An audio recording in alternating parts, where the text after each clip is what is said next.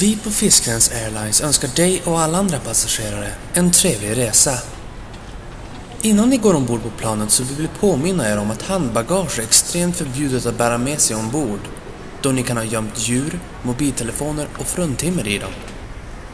Chansen att ni har smugglat ner en kniv i era skor är också stor, så var vänliga att avlägsna dem också.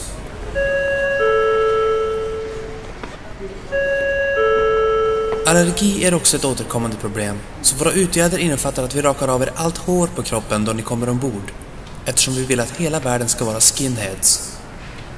Utöver det så kommer vi slita av er kläderna och kasta dem med flygplansmotorn, för på fiskens Airlines är alla lika mycket värda, oavsett märkeskläder eller kläder från Myrorna.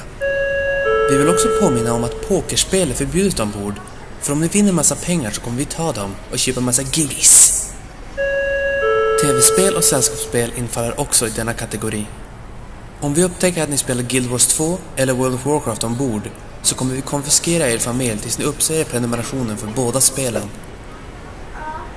Om ni skulle kombinera två av dessa förbud jag nämnt med varandra så kommer vi låsa fast er i kedjor under planen och sedan släppa loss gorillorna på er. I värsta fall kommer vi också be Erik Sade spela in en ny skiva i ditt vardagsrum där varje låt tar en vecka att spela in och han ska ha 3000 låtar på skivan. Tack för att du valt Fiskarens Airlines. Vi önskar återigen en trevlig resa.